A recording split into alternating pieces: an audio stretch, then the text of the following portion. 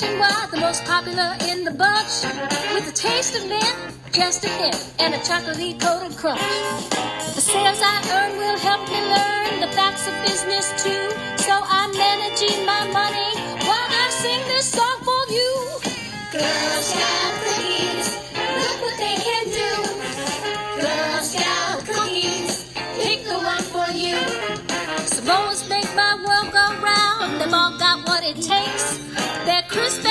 and a caramel gooey, so they hold those coconut flakes. Take a look and you'll see chocolatey straps running over them in lines. Yeah, they all have holes and they help set goals for the plan that I have in mind.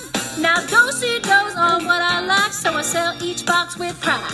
They're kind of filling with a peanut butter filling and the oatmeal cookie size.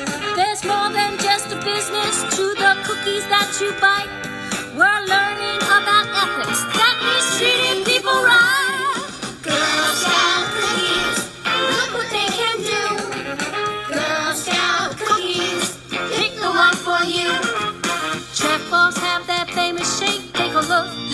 It.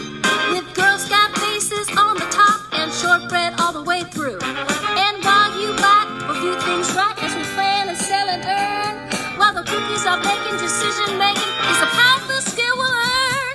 A Girl Scout cookie Tagalong is a treat in a chocolatey treat.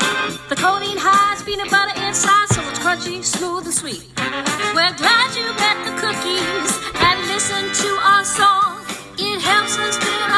still so